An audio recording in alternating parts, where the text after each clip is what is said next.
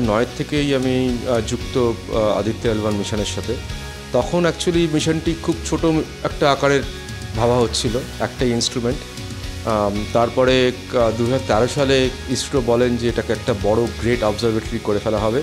এখানে আরও অনেক কিছু ইনস্ট্রুমেন্ট রাখা হবে যাতে একদম সূর্যের সব কিছু ইনভেস্টিগেশন পর্যবেক্ষণ একসঙ্গে করা যায় এবং আমাদের যে পৃথিবীর বাইরে যে আবহাওয়া, সেটাকে স্পেস ওয়েদার বলে সেটার পর্যবেক্ষণ যাতে করা যায়, এবার সেটার ইম্পর্টেন্ট তার কারণ সেটা আমাদের টেকনোলজিতে এফেক্ট করে।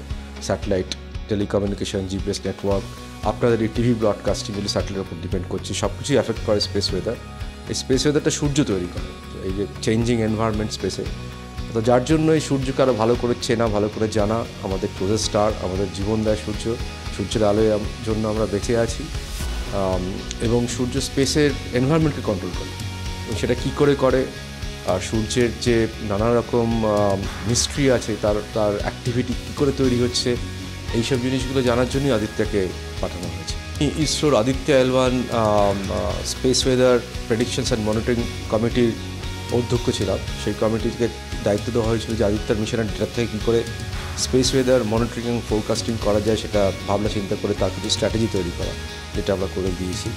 এবং অনেকভাবেই জড়িত এবং যার জন্য খুব কাছের মিশন এটা। মানে আমাদের জীবনের প্রায়, ধরুন একাডেমিক জীবনের কলকাতায় ফেরত আসার পর প্রায় পুরোটাই আমরা কাজ করেছি এবং ভাবনা চিন্তা করেছি মিশনটা নিয়ে। সুতরাং অবশ্যই খুব ভালো লাগছে যে অ্যাটলিস্ট ফার্স্ট স্টেপটা সাকসেসফুল হয়েছে। এখন আরও দুটো ক্রিটিক্যাল স্টেপ আছে। কথায় অসাধারণ অনুভূতি ছিল। এতদিন ধরে যেটা টিভির পর্দায় দেখেছি, সেটাকে সামনাসামনি দেখা। কাউন্টডাউন হচ্ছে এবং তার যখন প্লাস ফাইভ সেকেন্ড বলা হলো, চোখের সামনে দেখছি রকেটটা উড়ে চলে যাচ্ছে। তার ভিতরে রয়েছে আদিত্য এলোয়ান, যেটা কিনা সূর্যকে পর্যবেক্ষণ করবে। কিছুক্ষণ পরে কম্পন ঢেউ যখন এসে পৌঁছলো, সেটাকে সশরীরে অনুভব করা। এক কথায় মানে বাক্য দিয়ে হয়তো বর্ণনা করতে পারব না। এবং সত্যিই আমি গ্রেটফুল আমার পিএইচডি সুপারভাইজার প্রফেসর বিদ্যেন্দ্র নন্দীর কাছে যে এই সুযোগটা এত অল্প বয়সে আমরা পেয়েছি। তো অসাধারণ এক কথা।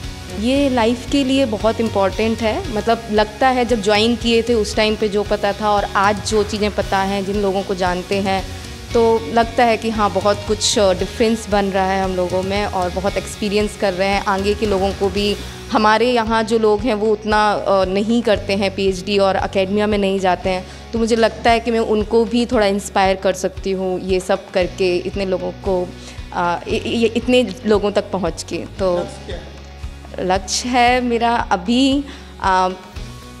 as a PhD student space astro में कर रही हूँ तो ये कंप्लीट करके एक centre of excellence in space sciences IISER Kolkata तो इसके बाद कुछ अच्छा देश के लिए कुछ अच्छा करने का लक्ष्य है बिकॉज़ गाइड मेरे professor Dibyendu Nandi and I'm really grateful कि उन, उन वो बहुत कुछ सीखा है मैंने उनसे